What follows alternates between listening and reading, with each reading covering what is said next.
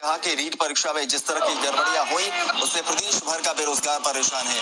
उपेन्द्र यादव ने कहा कि रीट परीक्षा में एक लाख से ज़्यादा अभ्यर्थियों के 135 से अधिक मार्क्स आने की सूचनाएँ मिल रही है, जो बेहद गंभीर मामला है। उपेन्द्र यादव ने सरकार से भी मांग की है कि वो अपनी हठधर्मिता को छोड़कर युवा बेरोजगारों के पक्ष में सकारात्मक फैसले ले। इस परीक्षा की जाँच सीबीआई को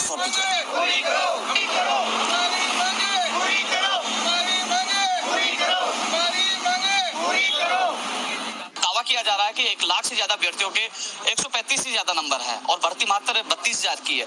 तो डेटा सार्वजनिक करना चाहिए, वेबसाइट पे डालना चाहिए, लेवल फ़र्स्ट और सेकंड का, जिससे जो पढ़ने वाले विद्यार्थियों की, जो चिंता है वो दूर हो सके। क्योंकि वो सोच रहे हैं कि यदि हमारे 132 35 नंबर भी आ गए 135 से ज़्यादा वाले, एक लाख से ज़्यादा लोग आ गए तो हम कहाँ जाएँगे? तो लेवल टू का और फ़र्स्ट का डेटा सार्वजनिक करना चाहिए, डीपी जारी को पकड़ना चाहिए और उनसे पूछना चाहिए, संरक्षण किससे उनको प्राप्त है, कौन से राजनेता इसमें शामिल है इसके अलावा रीट की सीबीआई